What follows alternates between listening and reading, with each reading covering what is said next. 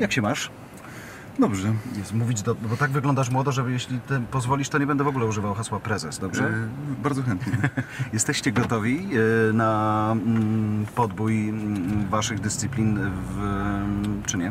E, Ciągle przygotowujemy się. No, w Rio wrócili, z Rio wróciliśmy z wielkim sukcesem, bo dziesiąta pozycja w klasyfikacji medalowej naszej reprezentacji to olbrzymi sukces.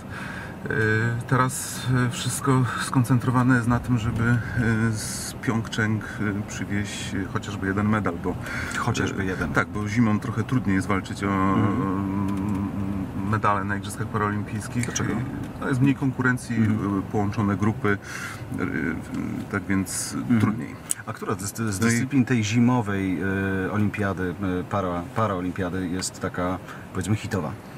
Znaczy na pewno narciarstwo alpejskie dostarcza wielu e, emocji, bo tam duże prędkości, trasy te same, które przeznaczone są dla pełnosprawnych narciarzy, to powoduje to, że w, w zjeździe na przykład też przekracza się e, mocno granicę 100 km na godzinę e, w czasie zjazdu. Na jednej nodze na przykład, Na tak? przykład na jednej nodze, na, na przykład na siedząco. Bardzo często ludzie się dziwią, że też jeżdżą osoby niewidome, które e, jeżdżą w parze z przewodnikiem. Wiesz, rozmawialiśmy przed momentem o technologiach, o tym, jak to się zmieni za chwilę. To w takim zjeździe osoby niewidomej jest trochę technologii, co? Czy bardziej Czy współpraca, tak to, to, jest kwestia bardziej współpracy z tym przewodnikiem i wieloletnich treningów rehabilitacji, gdzie mimo niewykorzystywania wzroku jednak ta osoba odnajduje się w przestrzeni, jaką jest stok narciarski. To też współpraca z tym przewodnikiem A gwarantuje. co ma już tak zapamiętany ten stok w swoich zmysłach, że Znaczy, jedzie, to w odnajduje sposób się w tych trudnych e, warunkach dzięki e, komunikatom, które uzyskuje od przewodnika. E, Oczywiście przewodnik też musi być świetnym narciarzem. Jest grupa B1, w której są zaklejone gogle, żeby nie było wątpliwości. Aż tak? Tak. To jest wyzwanie. E, I w tej dyscyplinie liczymy na medal, czy w jakiej? E, lic- Liczymy na medale zarówno w narciarstwie alpejskim, zresztą są ku temu Mhm. e, powody, że możemy myśleć pozytywnie, bo Igor Sikorski wrócił z Mistrzostw Świata Mhm. z, ze srebrnym medalem w slalomie w, w kategorii narciarzy jeżdżących na siedząco. E, Narciarze biegowi również dostarczyli nam e, powodów Mhm. do pozytywnego myślenia o Pjongczeng, bo m, Witek Skupień w sprincie e, uzyskał również srebrny Mhm. medal. A oprócz tego są jeszcze inni zawodnicy, którzy może e, zaskoczą, aczkolwiek e, tutaj jakichś wielkich niespodzianek raczej e, się nie spodziewamy. Stawiamy na kobiety czy na mężczyzn? Jak to wygląda? No chciałbym, żeby dołączyła jedna Alpejka do, do, do tej rywalizacji o medale bezpośrednio, natomiast no, największymi faworytami w tej chwili są jednak panowie. Jednak. Ale co, są mm, po prostu lepiej przygotowani? E, Dyscypliny im bardziej pasują, czy... Sport paraolimpijski, zresztą podobnie jak olimpijski, y, jakoś zdominowany jest przez mężczyzn. Oczywiście ciągle jesteśmy otwarci i liczymy, Mhm. No, Wszędzie liczymy na słychać, napływ. wszystko jest, ma twarz kobiety, a tu... Y, No, chcemy, żeby tych y, twarzy y, kobiecych było coraz więcej, również u nas. Y, Zresztą latem panie bardzo ładnie sobie y, poradziły, bo były autorkami y, sporej części tych y, blisko 40 medali przywiezionych z Rio. Patrząc na budżety, wy macie podobny do olimpijskich, czy nie? No. Wiem, że jest różna liczba ludzi i tak dalej, ale Te budżety ciągle się poprawiają i tutaj y, Ministerstwo Sportu y, i Turystyki jest y, taką instytucją, która od zawsze nas wspiera. Gdyby nie Ministerstwo Sportu, to na pewno nie moglibyśmy sięgać po, po, po te sukcesy, po które sięgamy, ale jest otwarcie. Y, Pojawiają się nowi sponsorzy. jednak, tak? Czyli nie ma y, takiego s- czegoś, że przy, czy właśnie może wręcz przeciwnie, że przy paraolimpiadzie sponsorów jest więcej niż przy normalnej olimpiadzie. y, No niestety aż tak dobrze Nie, źle jest. powiedziałem, głupie słowo, nie ma czegoś takiego jak normalna olimpiada, przy olimpiadzie Są, są Igrzyska Olimpijskie i Igrzyska Dokładnie. Paraolimpijskie, tak. Yy, niestety, niestety tych sponsorów jest mniej, aczkolwiek yy, dla mnie budujące jest to, że yy, nawiązujemy yy, kontrakty, pojawiają się mm, nowe firmy, które chcą yy, współpracować z paraolimpijczykami i tutaj jest mnóstwo technologii, bo yy, ten sport paraolimpijski chociażby wykorzystywanie protez, y, czy budowanie e, specjalnych y, urządzeń typu monoski do jazdy y, na nartach na siedząco. Takie siedzisko, które zastępuje, można powiedzieć, buta narciarskiego, ale to y, znowu Japończycy wiodą prym w, w produkcji tak? tych, tych, tych rozwiązań. Więc tutaj też jest takie trochę pole do rywalizacji na technologię. Yy, Mamy przykład włoski, gdzie mm, Ferrari produkuje monoski do yy, narciarstwa biegowego, żeby były jak najbardziej Ale bo to jest, mają wpisane w swoją narrację, że tak powiem, że w ten sposób, nie wiem, em, pomagają osobom niepełnosprawnym? Tak, to jest, wiesz, dla nich też walka o to, żeby wymyśleć nowe rzeczy.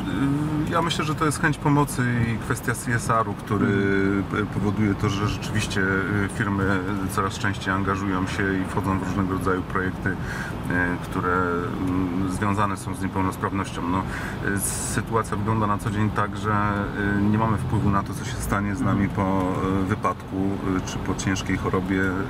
Bardzo często konsekwencją tego, że żyjemy i również jest to, że stajemy się osobą z niepełnosprawnością i takie organizacje jak nasze są po to, żeby no, pokazywać e, to, że życie się nie kończy, tylko zmieniamy na przykład sposób poruszania się albo komunikowania ze światem, a mm, ciągle jesteśmy człowiekiem i, i potrzeby są takie same. Jako osoba niepełnosprawna łatwiej Ci to komunikować ludziom, z Ja myślę, że jest to bardziej autentyczne, bo też do tego sportu mm, trafiłem z piłki nożnej na samym początku. Jak ktoś mnie namawiał na e, sport e, osób z niepełnosprawnościami, to raczej bardzo powątpiewałem i wydawało mi się to wręcz e, mało prawdopodobne, że e, to może być prawdziwy sport.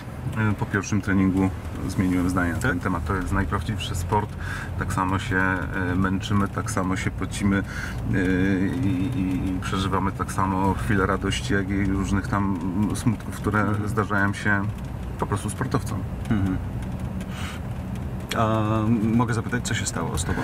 Akurat mój przypadek to wypadek e, na motocyklu. Nieszczęśliwe zderzenie z samochodem, który... Dawno to było? Oj, to już było...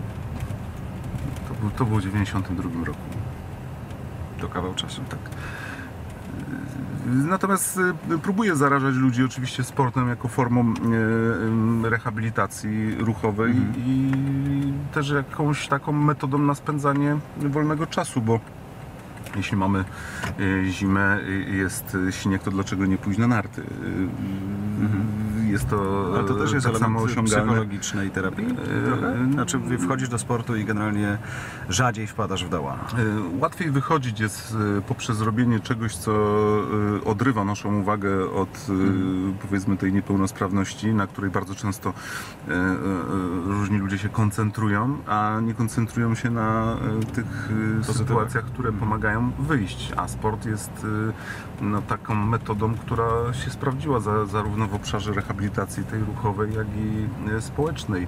Nasi zawodnicy bardzo rzadko są osobami, które, y, które nie pracują, które y, nie uczą się, nie, nie zdobywają jakichś jeszcze innych oprócz Ale tych sport im dał taką siłę, że właśnie szukają tej Ja pracy. myślę, że- Czy dzisiaj ja w myślę, ogóle że- na przykład firmy są bardziej otwarte na to, żeby zatrudniać osoby niepełnosprawne, bo przed chwilą też rozmawialiśmy o tym, że dzisiaj mobilność to już jest oczywista oczywistość. Nie? Y, No, można tak powiedzieć, aczkolwiek y, pewnie te 4,5 miliona w Polsce zdefiniowanych ludzi jako osoby z niepełnosprawnościami nie zawsze się z tym zgodzi, bo ten dostęp jednak jest utrudniony. Y, y, To wszystko jest troszkę bardziej skomplikowane, jeśli chodzi o możliwość sięgania y, chociażby po tą aktywność, bo załóżmy, żeby kupić zwykły rower, to nie jest problem, idziemy do sklepu, kupujemy, ale jak już chcemy kupić rower ręczny, no to oczywiście one są dostępne.